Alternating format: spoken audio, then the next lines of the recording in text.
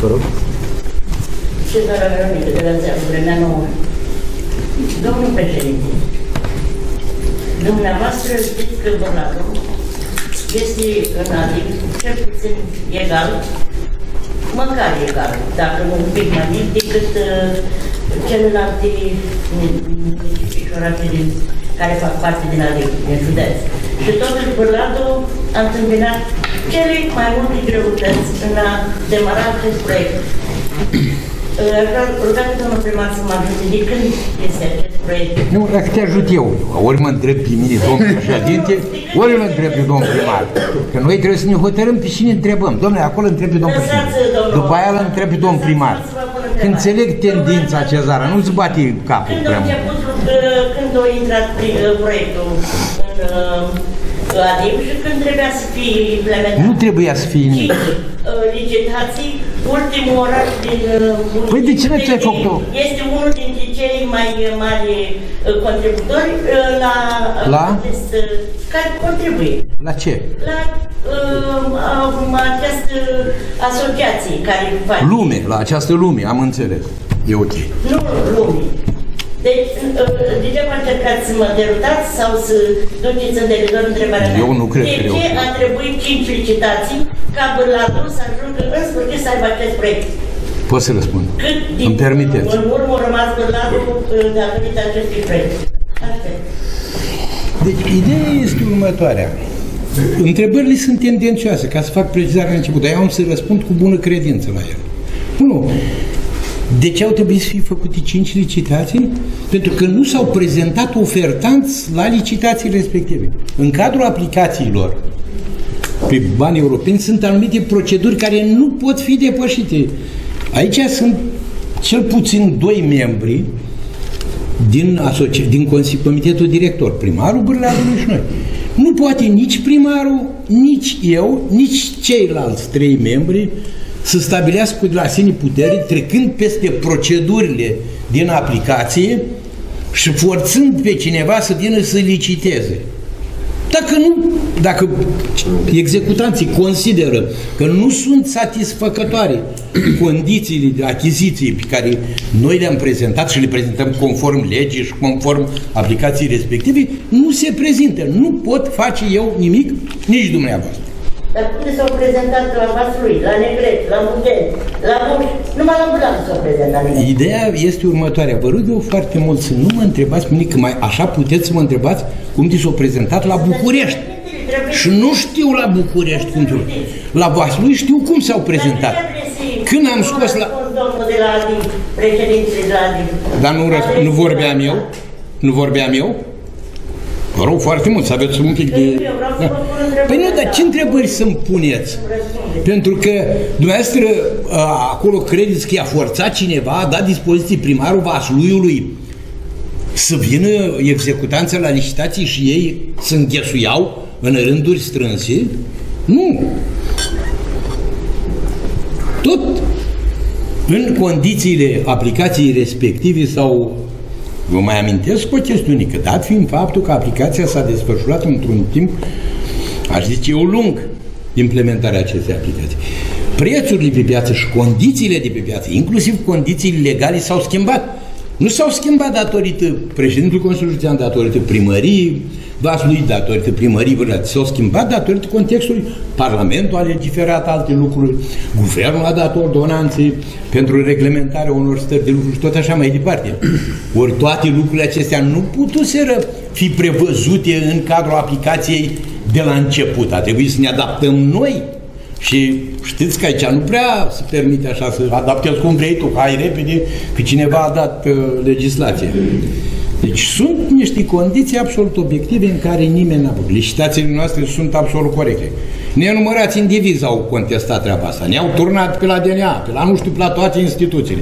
S-a cercetat, s-a constatat că nu s-a încălcat legea și nicio persoană nu a fost trimisă în judecată. Nu a depășit faza de cercetare INRM. Acum să scriți că Buzatul a vorbit cu ea de la DNA ca să rezolvi treaba. Că așa am văzut niște afirmații făcute și în chestiunea asta. Nu vorbim cu nimeni, urmăm doar litera legii în ceea ce privește implementarea acestor reguli. Poate că avem opinii diferite. Încercăm să le argumentăm cât mai bine legal, pentru ca aceste achiziții să fie de necontestat, atât pentru noi, cât și pentru executanții noștri.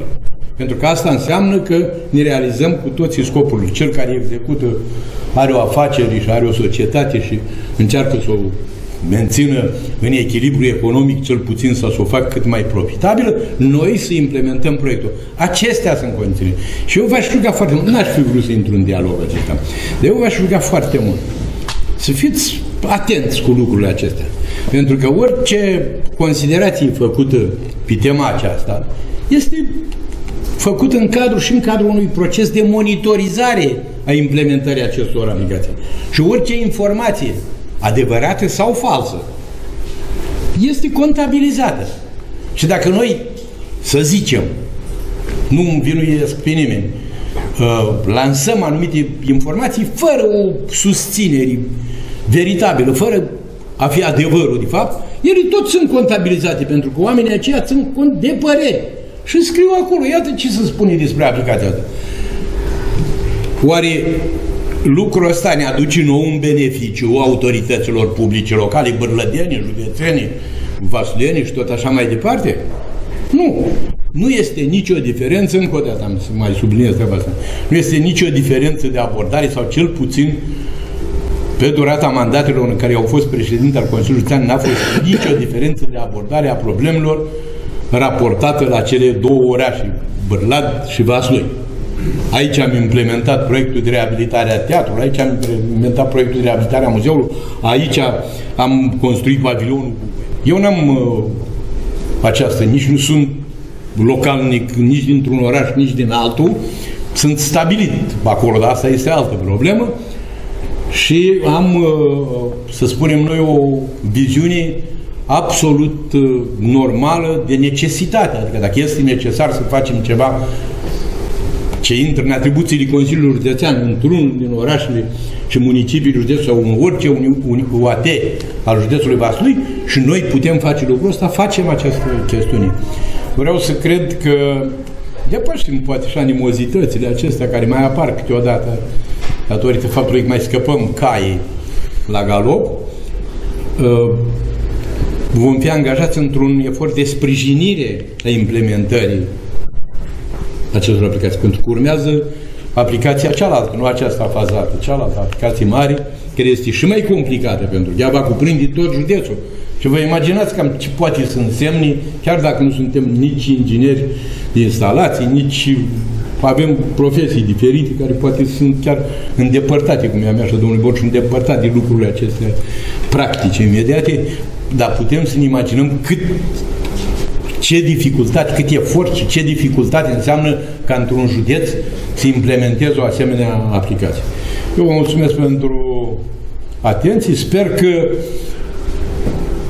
veți avea disponibilitatea să ne întrebați și să vă documentați corect atunci când vorbim despre lucrurile acestea, pentru că ele sunt lucruri care se repercutează direct asupra imaginii unităților administrative, nu numai nu administrațiilor.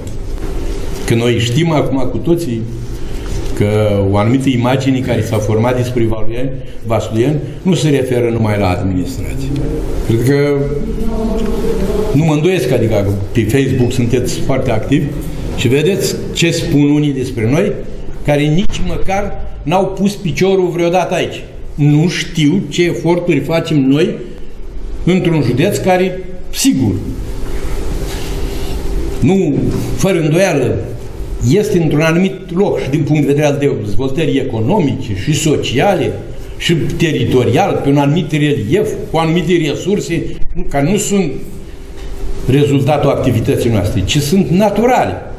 Și de aici efortul consistent și considerabil al autorităților publici locale de a moderniza aceste unități administrativ-teritoriale, care a fost uneori sprijinit prin programele de finanțare, alte ori mai puțin sprijinit, dar la nivel local nu a încetat niciodată.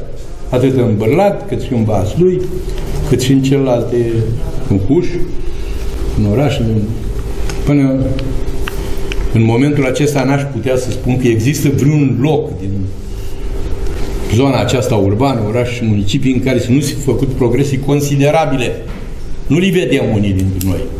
Nu vorbesc de cei de aici, dar vorbesc în general de masa oamenilor care exprimă opinii despre Vaslui. Nu li vedem, dar ele există. Dacă cineva are, uh, aș zice, curiozitatea să spun în față în față un filmuleț din Negrești de acum 30 de ani și unul de azi, vom vedea diferența. Dacă din Bârlat îl pune, vom vedea diferența. Dacă din Vaslui, vedem diferența. Sigur, există și diferență într-un fel natural care rezultă din dezvoltare, că una e să ai un oraș cu atâtea mii de locuitori și cu o rețea de peste 150 de kilometri de apă și canalizare, alta e să ai, cum e Vaslui, care e mai concentrat, pentru că a fost un oraș mai mic și s-a extins într-un timp mai scurt și urmând anumite linii urbanistice.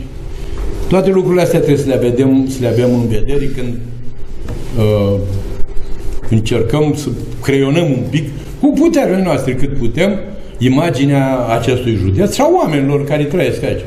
Eu cred că sunt oameni foarte buni, și cei care ne sprijină, și cei care ne critică. Sunt oameni foarte buni, sunt oameni capabili, își iubesc locurile acestea, că de asta au și rămas destul de mulți și trăiesc aici, de asta și uh, ne presează, ne cer să facem tot ce putem pentru uh, modernizarea acestui spațiu, spațiilor urbane și rurale.